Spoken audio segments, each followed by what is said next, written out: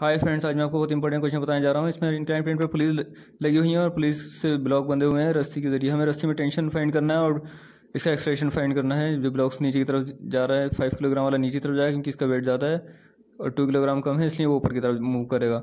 इसका कंपोनेंट कर लेते हैं हम इस ब्लॉक का, क्योंकि इंक्लाइंड है ये। नीचे की तरफ़ इसका कंपोनेंट इधर जाएगा और एक इधर आएगा एम जी साइन थीटा ये एम जी साइन थीटा जो है, ये प्लस हो जाएगा फाइव किलोग्राम वाले ब्लॉक के ग्रेविटी में फोर्स में।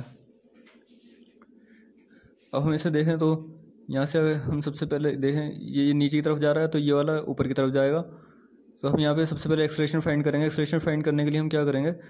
एक्सलेशन फाइंड करना direct formula A is equal to सारे फोर्स जो हैं उन्हें जोड़ देंगे। जो प्लस में है, वो जो प्लस में है, वो प्लस में और जो माइनस हो जाएगा, जो अपोजिट डायरेक्शन में वो माइनस लिख देंगे। क्योंकि नीचे की तरफ़ फोर्स लग रहा है टू एम जी नीचे की तरफ़ फोर्स लगेगा टू ए ब्लॉक का। और upon total mass five three plus two ten हो जाएगा टेन से डिवाइड कर देंगे। जी की value ten metre per second square लेंगे, क्योंकि ग्रेविटी फोर्स ये होता है नाइन पॉइंट एट होता है अप्रोक्सीमेट इसे टेन एज्यूम कर लेते हैं। टेन ले लेते हैं नाइन पॉइंट एट को। अब इसे सॉल्व करेंगे तो यहाँ से देखेंगे, हम ये आएगा four point five metre per second square ये एक्सप्रेशन आ गया इसका। इस वाले ब्लॉक का एबिलिटी देखें हम तो नीचे की तरफ़ ग्रेविटेशनल फोर्स लग रहा है। तो इसमें ये ऊपर की तरफ़ मूव कर रहा है, इसलिए टी ए ज़्यादा होगा क्योंकि ऊपर की तरफ़ जा रहा है टी ए टेंशन हो रहा है T A minus two G करेंगे क्योंकि ऊपर की तरफ़ जा रहा है ये।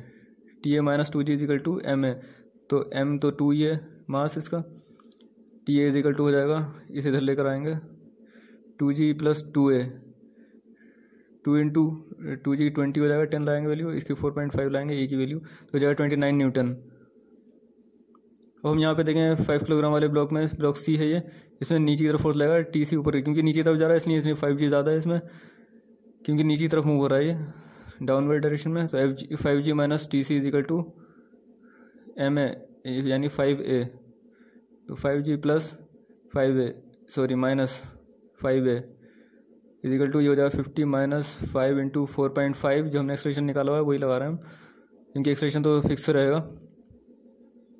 ये हो जाएगा ट्वेंटी टू पॉइंट फाइव, और इसे सॉल्व करेंगे तो हम हो जाएगा twenty seven point five newton. Thank you very much अगर ये वीडियो अच्छी लगी तो आप इसे लाइक करें शेयर करें और सब्सक्राइब करें। Thank you very much